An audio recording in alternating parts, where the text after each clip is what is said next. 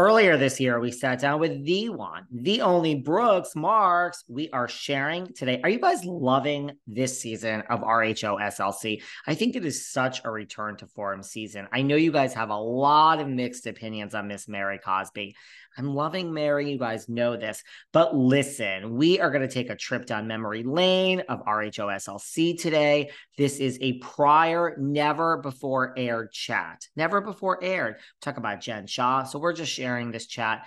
It's like, you know, the holidays. We're kind of going into the vault lately with some of these chats, which kind of never saw the light of day.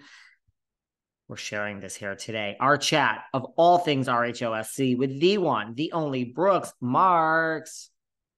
Happy holidays, everyone. This is David. Welcome back behind the velvet rope. Let's just get right into it today because we are joined by the one, the only Brooks Marks.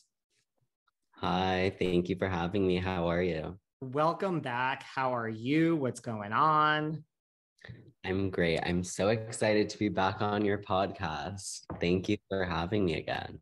Oh my God. Thank you for being back. I would ask you where you are, but I see the New York buildings in the background. So you are in New York. Yes. Well, congratulations. You've graduated from NYU since the last time we spoke. I have. Yeah. I finally made it out. Do you feel different now that you're a college graduate? I feel like honestly not that different aside from the fact that I just graduated college. Like all throughout school, I was working on my brand, you know, hustling to um, build it and whatnot. And so now that I'm done with school, it's just 100% focused on that. Well, listen, you've got some other things going on too. Like, congratulations on growing up reality with Brooks Marks, which is streaming on Yahoo's In the Know platform. So, congratulations. Thank you it kind of just came out of nowhere. No one really knew it was coming. And then we just dropped it this week. I saw that and I'm like, okay, wait a second. Am I seeing like, am I seeing things? And I'm like, okay, I I I need to get Brooks back on here to discuss all of this. So listen, I want to talk all about that. But before we get there, you know, when you look back over the past three years, you know, like it's hard to imagine, like, you know, we're only on our third season of Salt Lake Housewives. Like you, your mom, Meredith, like you've only been in our lives for three years. Like it feels, feels like we've known you forever. I mean, does it yeah. seem like forever to you? Um, honestly, no, it's all been going by so fast. It's crazy to think that like we did i was on your podcast what not last year but the year before like two years ago right? Yeah meredith was on last year alone and then you guys were on together the year before. So you were on like during season one. Yeah. I mean to me that literally feels like yesterday. Like it's crazy how fast time is going by. Um but yeah. Crazy. And then i mean i saw you at that baseball game and i think i saw you one night in the hamptons but it was at it was out and it was a really crowded restaurant, and I think it was you. Oh, at Almond, maybe. Yeah, it was at Almond. I and ah. I and I was going to say hi, but I was like, I physically like, but the I can't.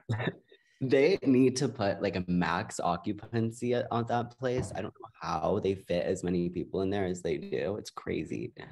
I was there one night. I think it was like over Fourth of July. We're like, because I've been out here like full time, like for the summer. We're like, they they came to shut it down, and the guy was like, just like Eric was just like, I'm just going to pay you like the fine. Like, I'm not shutting this down. Like, I'm going to make more money by keeping this open. Like, I don't know what the fine was, but they were like arguing. He's like, I, here's the money. Just go away. Yeah. I mean, it's so fun there. Like, I remember, I don't think people dance on the tables there anymore, but everyone used to get up on the bar and dance. And like, it was such a vibe. I, mean, I was, I was like, okay, I'm going to say hi. But I was literally like, when I turned around, I was like, of course, there's literally like thousands of people there. And we, we all look the same. I, oh my god like don't even get me started. But it is really fun. Um were you a fan of the housewives? Like but like did you watch like bravo before you were on it? Not really. Um i had seen like an episode of the beverly hills reunion i remember like my senior year of high school but i really wasn't familiar with real housewives at all. I didn't really understand exactly what it was um, but I had seen like reality TV before. So I'd seen like shows where they had a reunion at the end. And so like I understood like that concept. but Real Housewives is just like a whole other playing field. I didn't realize there's this whole like Bravo celebrity aspect. There's the whole like Bravo community and like it's massive. Like it was beyond anything that I ever imagined. Did you have any like reaction like when Meredith came home and said, "Guess what?" Or I mean, I imagine you guys all sat down as a family and talked about this, but like, did you have a reaction of like wanting to be part of this, like not wanting her to be part of this? Um, I wanted her to do whatever she wanted to do to make the best decision for herself. So I honestly was very for her doing it just because I think that my mom is such an incredible, inspirational businesswoman and she's dominating the space that she's in. And I think that's really inspirational for a lot of people to see and for her to be such a previously private person and to let cameras into her life I think would have been really cool for a lot of people to see. And overall, that's been the response from the viewers is they love seeing this life of, you know, this celebrity jewelry designer who all of a sudden decided to make her life entirely public.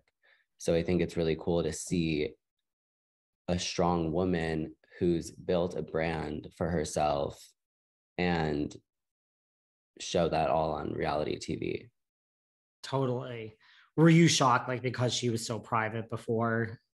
Yeah. I mean, I was actually like really astonished because if you had asked her to be on a reality TV show, probably like any time before when it happened, um, I don't know if she would have done it. It was just a very like tumultuous, like random time in her life. I feel like with everything going on with her and my dad, and you know, just like they were fully separated at that point. So she was just like, whatever, might as well go on. Were you shocked at, you know, because like you said, you watched reality TV before. Were you shocked at, like you said, like Housewives is such a different thing at like the level of drama that comes along with Housewives? Um, yeah. I mean, I was just, it's hard because like you don't want to see and I hate to say it's hard because if it weren't for the show, I don't think my brand would be as successful as it is currently, or there's no way of really knowing that. And I receive so much support and all these incredible messages all day long from all these viewers and stuff. Um, but something that's difficult about the show is seeing people attack my mom for things that I know aren't true. And just like such far-fetched crazy things like i know how hard it was for her with everything going on with my grandpa passing away and to see that become weaponized and used against her was like really difficult because i knew how sensitive she was to that and it was just incomprehensible to me that someone could somehow figure out a way to spin it and make her be a villain when she's simply a daughter grieving the loss of her father Right, which is bigger than any reality show. And it's like a real life thing that all of us go through or will go through. Yeah. Yeah. I mean, does that ever like how do you deal with like that and like the comments? You know, like do you go down that rabbit hole of like reading all the comments? And because listen, let's face it, there's a lot of lovers and there's a lot of haters. I mean, you could fly in on a unicorn with rainbows